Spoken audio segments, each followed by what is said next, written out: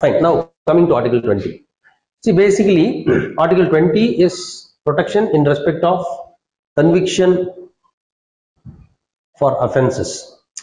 There, there are three important provisions here.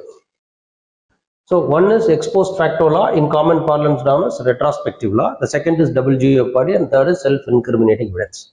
So basically, what is this? What is this? What do we mean by this? Right, let us uh, try to understand what do we mean by this.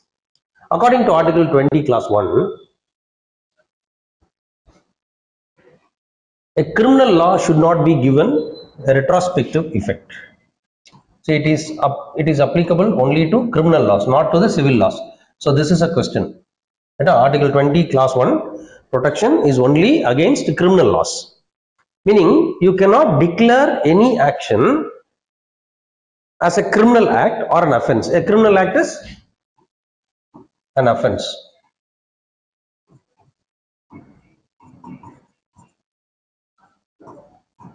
After, at the time of committing that act, if there was any law, so that is what Article 20 says. So Article 20 provides for this one. See, protection against retrospective laws. According to Article 20, Clause 1, any person can be punished only for violation of law. So, the Supreme Court has interpreted this way. What is an offense?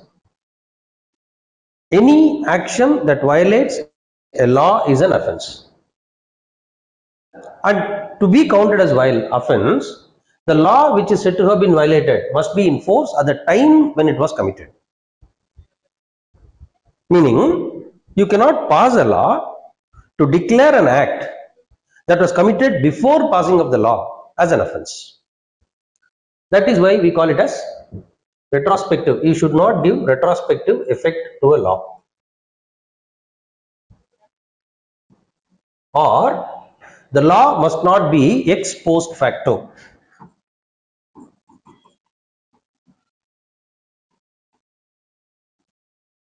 Both mean same. exposed post, ex post facto means giving a law retrospective effect. To declare an action committed as offense, even though the act was committed before the law was enacted. Similarly, the punishment if there was an offense committed. So there is a law. So to consider anything in a, as an offense, the court has said that to consider anything as an offense, that should be a law. The law should have been violated, only then it is an offense. And the law must be a constitutionally valid law. It should not be an unconstitutional, it, should not be a law that has been declared as invalid by court. It should be constitutionally valid. Third, third, the law must be in force at the time of commitment of that offense. And another important thing what the Article 20 clause 1 says is the punishment for any such act, even if the law is in force, even if there was a law that is constitutionally valid in force and violating that law an action has been committed to count that to count as offense, right, to count as offense, still the punishment should not exceed beyond what the law has prescribed. So these two protections Article 20 clause 1 gives. Clear? Fine. Then, then comes Article 20 clause 2. Article 20 clause 2, see, look at here. This one, this box. This box, this is the most important Article 20 clause 1. Fine. Now, Article 20 clause 2 deals with double jeopardy. So it is termed as double jeopardy. But what Article 20 clause 2 says is no person shall be prosecuted and punished. This and is very important. For the same offense more than once. Here again, we have to re I mean we have to bring down what we saw for Article 20 clause 1. When will you get the protection for double jeopardy? Right? When will this protection be available to somebody? The court has said, number one, there should be a law which is constitutionally valid. There should be an act of violating that law. that will be called as offense. Right? Then, for this, the person is prosecuted before a court of law. Right? Then there is a conviction. The court has convicted him, and based on the conviction, there is a sentence, and based on the sentence, there is a punishment. If this procedure has already been followed, then for the same offense, another prosecution before a court of law and a sentence and punishment should not be imposed. Why we have to discuss this in detail is because sometimes there again it became a, there was a case. A government officer was, was arrested for corruption under the Prevention of Corruption Act. Because of that, he is being subjected to disciplinary actions of the department.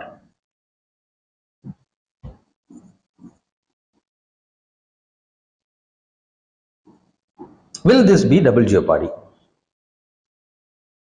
He has been already, there is a law, Prevention of Corruption Act, valid law. There is a corruption, meaning an offense has been committed. The law is in force.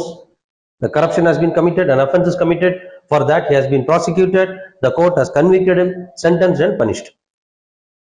Because of this, the department takes disciplinary action and dismisses him from service. Now, this person moves the court stating that he is being subjected to double jeopardy and according to Article 20, Clause 2, this is not correct. Now, the court said this will not be double jeopardy because Constitution says no person shall be prosecuted and punished. Here, there is no prosecution involved. Already, there there is only one prosecution involved. The conduct rules say if you are indulged in a criminal act, because of that a case has been filed and you are punished, then that according to the conduct rules, then you are not eligible to continue in that service because you are breaking, breaching the term of contract of employment. Hence the disciplinary action. Since there is no prosecution involved, this is only a consequence of prosecution. Hence this will not be considered as double jeopardy. Clear? So that is the most important thing to be understood. Here, look at this paragraph. Disciplinary proceedings, not double jeopardy. Alright. Then comes the third one, 20 clause 3. According to 20 clause 3, right, self-incriminating evidence. Again, you have to take the same sequence. Supposing a person has been found to have committed an offense against a law that was constitutionally valid in force in the process of trial before the court he should not be forced to be a witness against himself. That is self-incriminating evidence or self-incriminating witness. Clear to you? But to take the protection of Article 20, Clause 3, these conditions are important. The person accused of the offense must be compelled to be a witness. The element of compulsion must be present and the compulsion is to be a witness against himself. Then he will be protected under article 20 clause 3 however the documents that are see here look at the pro- protection is available only in case in which a person is compelled to be a witness against himself now comes a question. Can there are two persons x and y. X is the offender. Y is not. According to article 20 clause 3 x cannot be compelled to give witness against himself. Now the question is can y be compelled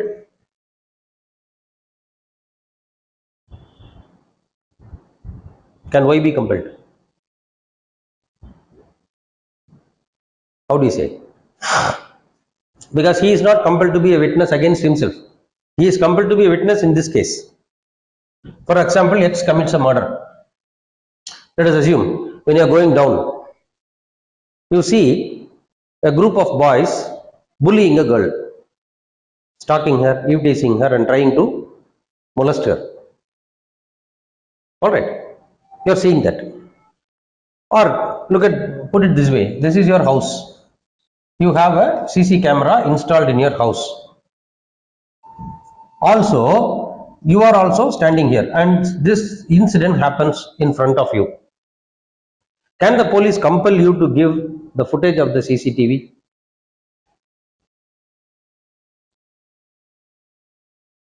Can the police, after looking into the CC footage, they find that you are also standing, you are a witness. You are in, in you are also a witness to that, you are seeing, it's happening in front of your eyes. Based on this footage, can they compel you to be in evidence? I mean, give witness in the court of law? How? And why do you say that no?